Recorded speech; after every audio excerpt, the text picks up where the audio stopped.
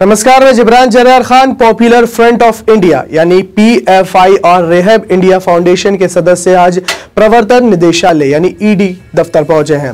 इन दोनों संगठनों का नाम सीए विरोधी हिंसा के सामने आया था, जिसके बाद ईडी ने इन्हें पूछताछ के लिए समन जारी किया था। पॉपुलर फ्रंट ऑफ़ इंडिया के वकील केसी नजीर ने कहा है कि हम ईडी के सामने अपना जवाब दाखिल करने के लिए दो महीने का वक्त मांग रहे हैं।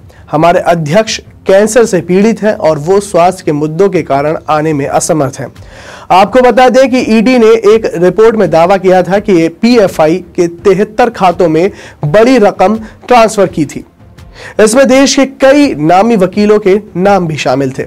गृह मंत्रालय को पत्र लिखते हुए ईडी ने बैंक खातों में ट्रांसफ़र पैसा और हिंसा की तारीखों के बीच संबंध जोड़ने की कोशिश की है। पिछले साल दिसंबर में यूपी में कई स्थानों पर सीएए के खिलाफ हो रहे प्रदर्शनों में हिंसक रूप ले लिया था। गृह मंत्रालय को भेजे गए पत्र में ईडी ने सीएए के खिलाफ उत्तर प्रदेश में हुए प्रदर्शन और पॉपुलर फ्रंट ऑफ़ इंडिया के बीच सीधा संबंध बताया है। ईडी ने बैंक खातों में धन जमा करने की तारीखें और सीएए विरोधी की तारीखों के बीच परस्पर संबंध दिखाया है। इस मामले में नाम आने पर कांग्रेस के वरिष्ठ नेता कपिल सिब्बल ने प्रेस कॉन्फ्रेंस कर स्पष्टीकरण दिया है। उन्होंने सीधे तौर पर इन आरोपों से इनकार किया है। कपिल सिब्बल ने कहा कि उन्होंने हादिया का केस लड़ा था।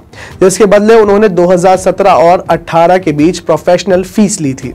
मगर सी से इसका कोई लेना देना बिल्कुल नहीं है। उन्होंने ये भी कहा कि सी से जुड़े मामलों का केस लड़ने पर उन्होंने एक पैसा फ़ीस नहीं ली। कपिल सिब्बल ने केंद्र सरकार पर तंज कसते हुए कहा कि जब उन्होंने प्रोफेशनल फ़ीस ली थी, तब उन्हें पता नहीं था कि अमित शाह गृह मंत्री बनेंगे और संसद की नागरिकता संशोधन विधेयक पास हो जाएगा। ये वीडियो आपको कैसी लगी? नीचे कमेंट सेक्शन में हमें ज़रूर कमेंट करके बताइए। धन्यवाद।